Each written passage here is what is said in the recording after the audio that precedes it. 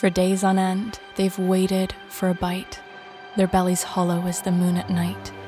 Rain's been a stranger for years, they say, and beneath the blazing sun, they wipe their sweat of dismay. A river once teeming, now reduced to ghostly lore. Despite the angler's plea, its bounty gives no more. No rain, no grain, the land's forgotten mirth, hope's flame wanes in the heart of the earth. For days on end, they've yearned bite, their plates lay bare, an unforgiving sight. Knots are tied, not of promise, but of compromise. Across the globe, climate change creates brides too soon, replacing dreams with chains under the same sun and moon.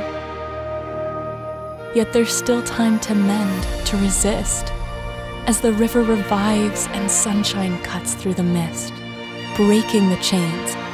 It's her turn to write. Her story of strength in the face of plight. Let's grant our girls the dreams they've sought, brighter futures as they untie the knot.